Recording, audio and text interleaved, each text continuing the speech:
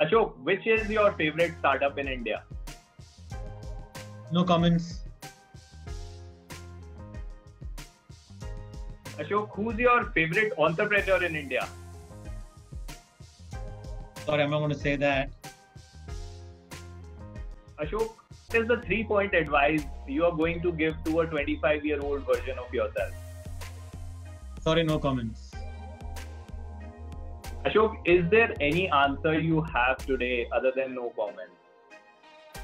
Well, you got to wait for the call that we're going to have on Zoom to get to know not just this, but a lot more deeper conversation that uh, Sid, you and me are going to have. And I'm excited about that. And when is the call, Ashok?